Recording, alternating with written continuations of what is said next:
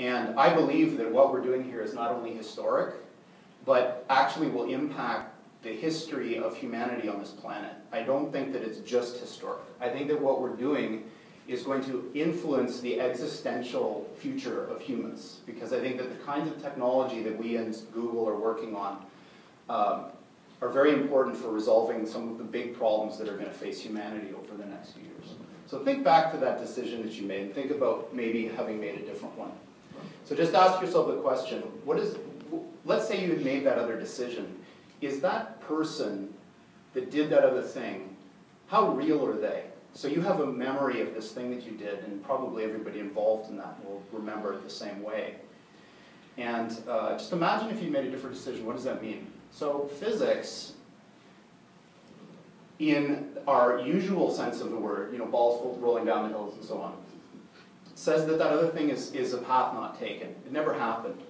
It's not real except as some kind of supposition in your brain. But quantum physics, which is somehow more fundamental than this notion that we hold, and has been very successful in explaining the world, says something very different. It opens up the possibility that all of those paths not taken are just as real as the one that you remember. And they exist in some sense.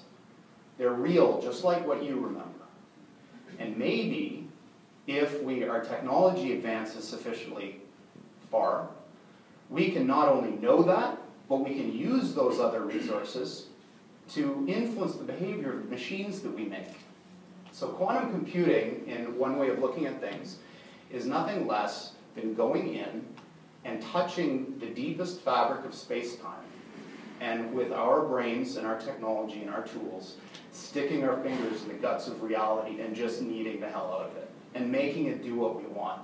To use these different parallel possibilities to our computational benefit. Uh, now, if you're a physicist or somebody who studies, who's interested in things like what the fabric of space-time is made of and things of this sort, this is an absolutely fascinating thing that you can commit your career to studying, and people do. Now, this doesn't come for free. This kind of exploration is very dangerous in a couple senses. So one, if you're a graduate student who starts a quantum computing company, you're, at, you're, you're committing yourself to a path that is probably going to fail.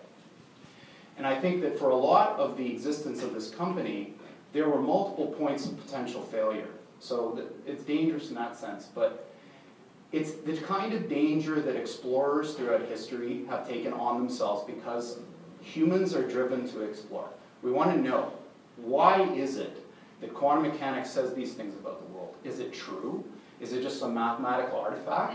Or are there lurking right under our noses all of this immense wealth of beauty and knowledge and we just don't see it because our machines aren't there yet? So could we build that machine? Wouldn't that be exciting? Now, that is uh, a good thing to get your kind of guts excited.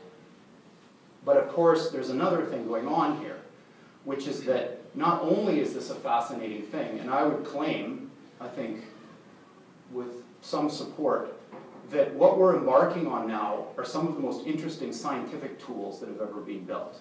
They're able to probe quantum mechanics in this level where it's big enough to not be exactly clearly quantum, but small enough to be tunable in quantum. It's in this sort of middle range.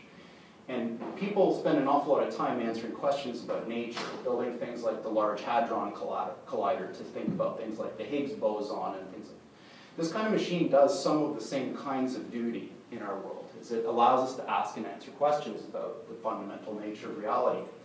But it does something else, and that's that these, this kneading the guts of the fundamental fabric of space-time allows you to solve problems that you couldn't otherwise solve, computational problems that matter, ones that are at the core of the reasons we don't have intelligent machines today.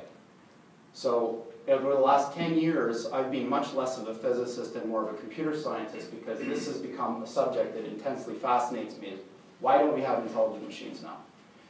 And it turns out that the, the problem that our system solves very well is the kind of problem that people like Google and Lockheed Martin and NASA have in spades. It's the, the core problem that they run their fifty thousand CPU cycles on for years and years and years, trying to build better speech synthesizers or text-to-speech programs or object recognition or other kinds of things that exhibit intelligent behavior.